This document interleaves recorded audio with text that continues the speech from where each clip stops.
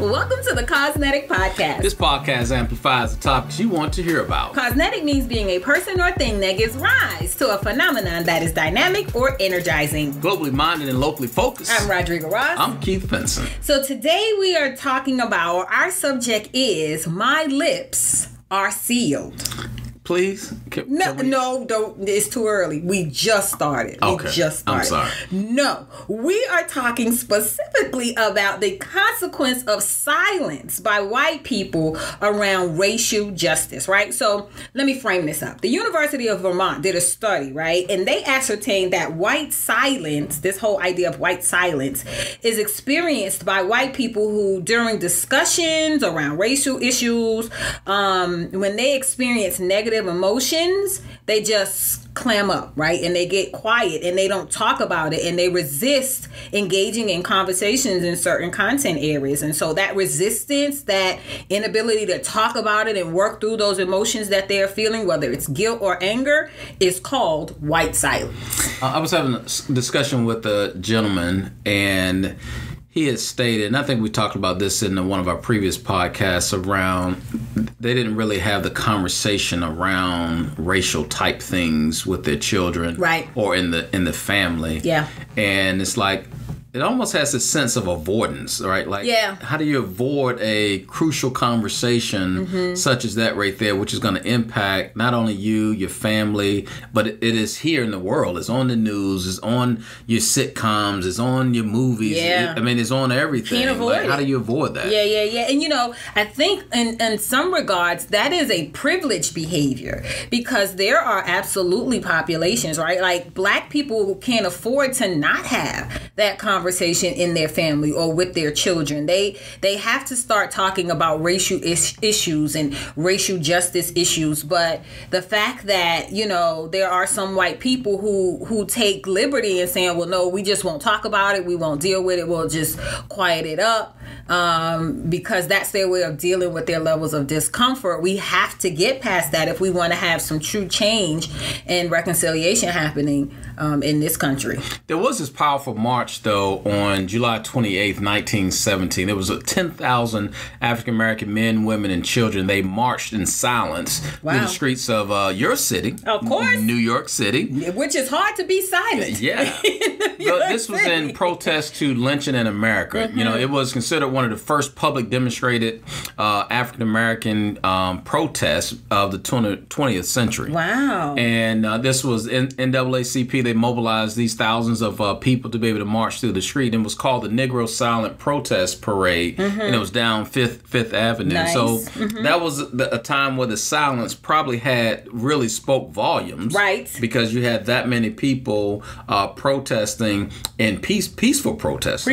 Yes, and you know, in some regards, if you think about the time in which the protest happened, that probably was a safeguard, right? Like they wanted to protest, they wanted to bring attention, but you're talking about 1917. W- what were the consequences if they were not silent? Ten thousand African American men, women, and children in one place, just walking down the street, and, and and then you add on this layer of loud and disruptive. They they might not have had the privilege. Because when you come to the workplace and you bring that silence there and we're not addressing those things, Yeah. we get this same mundane work, especially nonprofit type of work, the work that we do day in and day out where we're trying to impact community while we're doing good things, but we're not say, talking about those tough issues, those critical, having those critical conversations that are out there. Yeah. And that makes it really tough uh, for other minorities within your organization to uh, just like to comprehend, like, how come nobody is saying anything Right. About the elephant that's in the, room? And you start to think, am I the only one? Like, is there something wrong with me? Like, I know someone else is noticing or feeling or or dealing with this, right? And so on top of the silence, there are also some some some dismissive like slogans and phrases that people use sometimes to protect their ability to stay silent or to perpetuate their ability to be silent. Like, oh, well, you know, I don't discuss such matters because I feel like this nation is a melting pot. Yeah. So we're all cheese now. what? this is not the time to be No, silent. Silence is not. that seed from which deceit and hatred grows. Yes, because nobody really understands your intentions because you won't tell them, and this stuff just you, people make up stuff in their heads, right? And it's probably not at all what you were thinking or what you were intended. But how are we supposed to know that? Right. You were silent. Like we got to get this. We got to get this out. We got to have these conversations. Yeah. We can't just not talk about things. Yeah, yeah. So Martin Luther King has a, a famous quote, and I'm probably going to butcher the quote exactly, but basically it's saying that in times of strife, I will not remember what my enemies did. I will remember the silence of my mm. so-called friends, right? Mm. Because you expect your enemies to do something, but then you also have that same expectation of people who call themselves your allies and your friends and your accomplices or co-conspirators or what have you. You expect them to kind of jump up and be vocal on your side, and when they're standing silent. It, it it almost seems like oh so you're with them this is okay to you and they may be grappling with it right but how are we supposed to know that So I was working with this group, and um, this group has first time African American um, uh, chair of a board, Mm-hmm. and the major- he was the only one. He was the only the second. He was one of two that were on the board. So Mm-hmm. in the history at this time, it's fifty year old organization. Only had two African Americans on the board. Period. wow And so I was talking to um, his daughter, who was kind of coaching him in terms of how, how to lead. You know, child leading it, leading it, you know, leading go the father. ahead, daughter. I Right, like right. And I was asking, so I was saying, well, who's some of the allies on the board? And she would begin to name two or three. I said, well, what have the allies said, you know, out in public?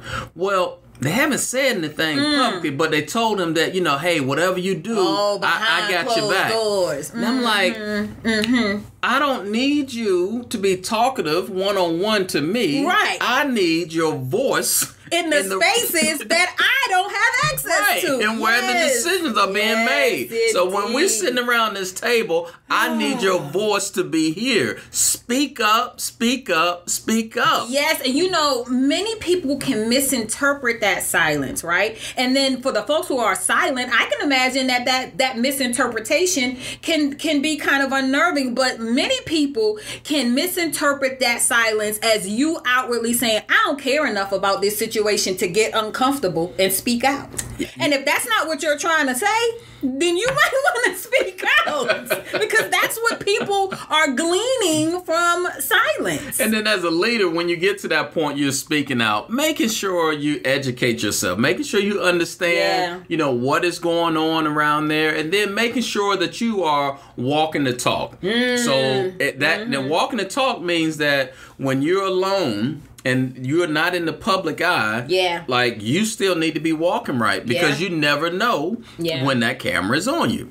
Yeah, it, you know, the the other thing that you have to do if if people are being silent about something that is really affecting your lived experience, right? Like racism or classism or sexism or something, you have to push people to speak without necessarily putting words in their mouth. Like I'm not going to tell you what to say, but I'm going to steer you down cuz you have to say something. Like this has to be a team approach. Like we have to stop letting people off the hook Right. and and and giving them excuses or you know using grace as the qualifier to say oh it's all right. They're uncomfortable. Well and like no you have to push people. You have to help me help you help me. Let me understand right? Help you, help me, to help- help you to help me. Okay can we do that? And then there's a time that you gotta invest, right? Yeah. Invest in putting your money where your mouth is. Like corporations and leaders, we gotta be able to put money into. We can't just uh, make a statement and leave it there. It's like how do we weave all of that? And so when we're talking Yeah. about investing our money, paying vendors, like what is what does that look like in terms of our vendor list that we have? What does that look like for for-profit organizations where they can now give back to the community? Where are you putting your, your money at? Yeah, yeah, yeah. And and please don't don't hear me saying that, you know, silence is completely intolerable because we know that some people, especially like if if you're in a conversation and and some subject matter comes up and it just hits you right then, and you don't say anything in the moment, right? Because you're trying to process. Like people process differently. It's fine. You know, if any of us have ever been in a meeting, you know the people who are going to always have something to say right there on the spot, and then you gotta have the people that later on it kind of coalesces and it comes together, and they definitely have some profound thoughts about it. So when we're talking about silence, white silence, we're not talking about just situational, right? Right. We're, we're talking about about a concept overall. Like we recognize that sometimes you may be dealing with emotions or or dealing with subject matter right in the moment that requires you to just quietly process. But after that processing is over, somebody has to say something, right? Right. And that's the disconnect. Like you took all that time to process, and then you still didn't say anything. And like this- we don't know where you stand with this. Right, and this conversation is not about because you're an introvert and you don't speak up. Right. Th- This is not about No. you know, my, my co-host here. You I know, am. Tell it. It's true. Y'all can hear Tell it. It's true. that that you that she believes that she's she's an introvert. I am an introvert. Yes, ma'am. am. I w yes, yes. America believes that. so. Yeah. You know. But so this is when we're talking about speaking up, we're talking about when you have that opportunity to be in a position to make decisions, to have a voice in the place of uh, decisions and things that are going on in the community or in your corporation or your nonprofit, whatever the case may be. It's at a time that you got to interject uh, what is right in Yeah, there, yeah. and um, being able to address, like we said earlier, that elephant that's in the room. Yeah, so I will tell you, I had an experience with this not too long ago. So I had, uh, I was in a meeting, one of our regular standing meetings with a group of people that we regularly meet with, and um, you know, we were in the meeting, and for whatever reason, the conversation kind of shifted towards something about race or social justice or whatever the case may be. Having a very intelligent conversation, and while the people that were in the meeting, I never thought of them, and cer- certain people specifically, I never really thought of them as being racist. I I can say if I'm going to be completely transparent that I. I I couldn't say with a high degree of certainty that they weren't, right? And I think that's the problem mm. that messed with me a little bit. It was like, I don't really want to call them racist, but I'm not 100, 100, 100% sure that they're really not. And then in one particular conversation, this particular conversation, one of those people just said out their mouths, look, I, I, I am not a racist. I know that I, I benefit from white privilege. I, I want to learn more. I want to do more. But, you know, I'm at a loss of, of what to do sometimes. And I promise just that little bit, that, that opening up and that clarifying um, really changed my perception of that person and how we engage and, you know, what resources I offer them and, and what things we talk about. And this is not a person that I've just met. I've known this person working with them closely for at least 15 years. And that was the first time I had ever heard it come out of their mouths. And and that's when this whole idea of white silence really got profound for me. It's like now I know unequivocally what this person stands for because I heard it out of their mouths. Whereas before, I, you know, I was trying to give them the benefit of the doubt, and I was I was making that assumption. Yeah, here recently um, had a conversation. We just a organic deal. Um, we had about five of us on the call and all different races, and we're just having a conversation, and everybody was just being frank. You know, hey, here's where I am on you know this issue. Uh, here's where I am on that issue, and it really helped to break down this barrier of a wall that you know that people just felt re- relieved just to have Yeah. conversation about you know that you know those big those big topics that are out there. Yeah, and nobody blew up. There wasn't guts on the screen. No. Did somebody break down and cry and you couldn't put them back together? Yeah. Was anybody committed to any institutions No, after but it, it was Like- it, and it was it was refreshing for me, and it wasn't so much that they had a thousand questions for Keith because he's a black male, but it was just general conversation about specific topics that um, related to. We're talking about bias o- overall, Hmm. and it was just it was it was healthy um, Yeah. because we started off to be a thirty minute conversation. We ended up being about an hour.